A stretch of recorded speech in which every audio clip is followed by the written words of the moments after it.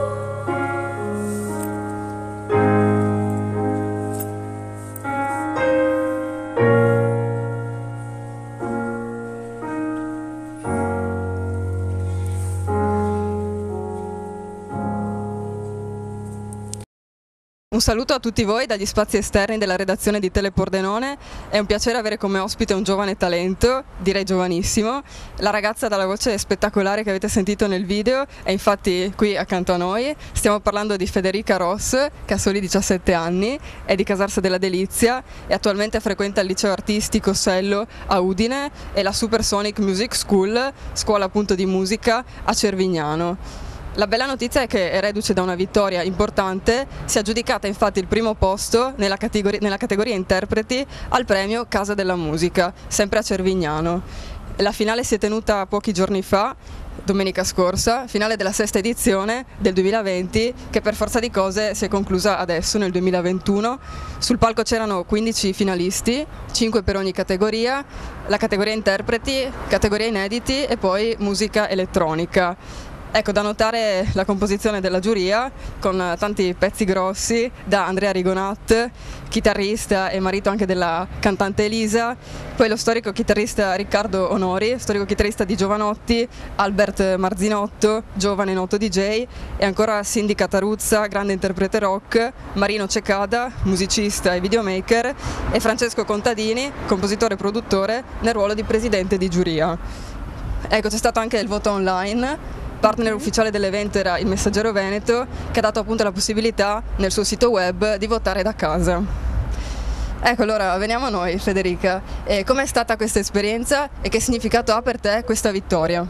Allora, questa esperienza l'ho vissuta con eh, felicità, ero molto contenta di partecipare a questo concorso, insomma, e anche di essere stata appunto una delle finaliste degli interpreti. E, um, è stato anche mettersi un po' in gioco perché appunto è la prima volta che sono salito in un palco vero, insomma, e quindi comunque l'adrenalina e lo stress ci sono stati insieme. E, um, però mi hanno appunto aiutata a fare una buona performance e sono molto contenta di questo. E, e niente, stata un'esperienza che mi ha comunque fatta crescere e comunque continuerò a farne tante altre. Hai scelto di interpretare il brano Rise Up. Mm-hmm. Che brano è e soprattutto perché hai scelto proprio quello? Allora, è un brano che ha scritto e cantato Andra Day, che mm, appunto parla di una storia d'amore tra due persone. E, mm, l'abbiamo scelta io e la mia insegnante eh, praticamente perché appunto ci piaceva insomma come canzone e perché voleva farmi appunto diciamo far valere la mia voce, la mia potenza che avevo dentro appunto. E, e questa canzone ha anche un significato molto bello che è appunto quello di rialzarsi eh, dopo che si è appunto si è appunto avuto un'esperienza negativa, quindi appunto eh, tristezza o dolore, appunto mm, eh, questo. E per me è molto importante come canzone e l'ho sentita proprio mia quando l'ho interpretata. Ecco, il genere di questo brano è tra l'R&B e il soul, giusto? E ti senti particolarmente rispecchiata da questo genere o c'è anche qualcos'altro che ti piacerebbe sperimentare, se non l'hai già fatto magari? Allora sì, è un genere molto, che mi piace molto, però ovviamente io cerco di sperimentare sempre nuovi generi, quindi anche ho provato il rock, infatti un anno fa eh, sono entrata a far parte di una band rock nel mio paese eh, con quattro miei eh, amici e diciamo che mh, mm, è stata una bellissima esperienza perché ho imparato anche a mm, diciamo, controllare la mia voce dentro a, a, un gruppo, quindi comunque cercare di adattarmi a ogni situazione, che, ogni situazione. E quindi è stata una bella esperienza. E... Ecco, dopo aver parlato di questo tuo recente successo, è quasi d'obbligo fare un passo indietro per cercare di capire come nasce la tua passione per la musica. Quando hai capito effettivamente di poter avere una marcia in più? Allora, tutto inizia due anni e mezzo fa più o meno, quando eh, i miei genitori mi iscrivono ai corsi di canto a Cervignano e, però in realtà questa passione del canto, del ballo, anche del, um, appunto di travestirmi ce l'ho fin da piccola. Quindi è stato molto importante anche il sostegno della famiglia immagino. C'è anche un aneddoto che mi avevi raccontato dietro le quinte, vuoi condividerlo con noi? Mm, sì, appunto prima di iniziare appunto le lezioni di canto um, io ero un po' timida, no? quindi mi chiudevo in camera mia e cantavo diciamo in solitario e quindi mi chiudevo anche in me stessa perché avevo paura di far sentire la mia voce. Però un giorno diciamo che i miei mi dicono vabbè esibisciti in salotto, con uh, mio papà mi aveva comprato un microfono e una cassa e allora um, ho cominciato diciamo a casa a esibirmi davanti a loro e mi ha detto cioè wow bravissima cavolo e, um, allora da lì appunto mi hanno iscritta alle lezioni di canto e, perché vedevano appunto che avevo questa grande passione dentro di me, allora così, è andata così, insomma. È un debutto che comincia in famiglia. E invece c'è qualcuno a cui ti ispiri? Hai qualche mito? Allora, ehm, io cerco sempre di essere me stessa, però eh, sin da piccola comunque ho avuto diciamo eh, grandi, delle ispirazioni eh, da parte di grandi cantanti, quindi come Ariana Grande, Billie Eilish e ho sempre interpretato le loro canzoni in chiave mia. Però secondo me la cosa più bella comunque è interpretare una cover di una persona, di un maschio appunto, in chiave femminile per dare appunto originalità al pezzo. E se potessi fare un duetto con qualcuno, se domani ti dicessero Federica puoi scegliere qualsiasi artista e duettare, sceglieresti sempre uno di questi nomi o te ne vengono in mente altri ancora? Eh, boh, tantissimi. Cioè io anche tipo nomi maschili come Shawn Mendes, non so, però è un sogno grandissimo, cioè, sarebbe molto bello. Non si sa mai. E oltre alla musica, quali altre passioni hai? Allora, io ho tante altre passioni, eh, come l'arte e poi diciamo la fotografia e mm, anche diciamo il make up, mi piace truccarmi, quindi ho tutte queste, queste cose insomma che mi caratterizzano. E com'è destreggiarsi tra liceo, scuola di musica e poi anche tutte queste altre passioni? Come fai a conciliare tutto?